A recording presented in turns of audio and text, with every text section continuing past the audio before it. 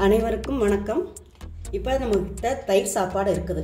இதுக்கு தொட்டுக்கு சாப்பிட்றதுக்கு நமக்கு ஒரு சைடிஷ் வேணும். என்ன பண்ணலாம்? ஒரு நாலு பச்சை மிளகாயை கட் பண்ணி வச்சுருக்கேன்.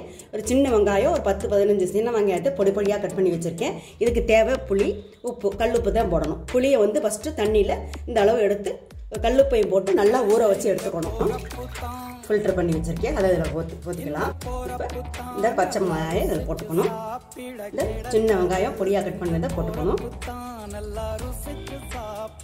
இப்போ இதை நல்லா மிக்ஸ் பண்ணி விடணும்.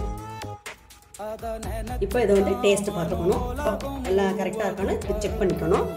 இந்த தயிர் சோறு எடுத்து வச்சுருக்கேன். இதை இப்படி கையில் போட்டுக்கணும். இப்படி நடுவு நடுவில் ஒரு குழி மாதிரி செஞ்சுக்கலாம். இப்படி வெங்காயம் இந்த பச்சை மிளகா அந்த தண்ணி ஊற்றி இப்படி சாப்பிட்டு பாருங்கள் இந்த வெங்காயம் பச்சை மிளகாய் இந்த புளி தண்ணி ஊற்றி சாப்பிட்டா ஒரு தட்டு சாப்பாடு இருந்தாலும் பத்தாதுங்க. இதுக்கு மேலே சொல்லணும்னு நினச்சோம்னா பழைய சாப்பாடு இருந்தால் போதும். அதுக்கு ரொம்ப ரொம்ப டேஸ்டியாக இருக்கும். அருமையாக இருக்கும். நீங்களும் இந்த மாதிரி செஞ்சு பாருங்கள் செஞ்சு பார்த்துட்டு எப்படி இருக்கணும் உங்கள் கருத்துக்களை கமெண்ட் பாக்ஸில் சொல்லுங்கள் நன்றி வணக்கம்.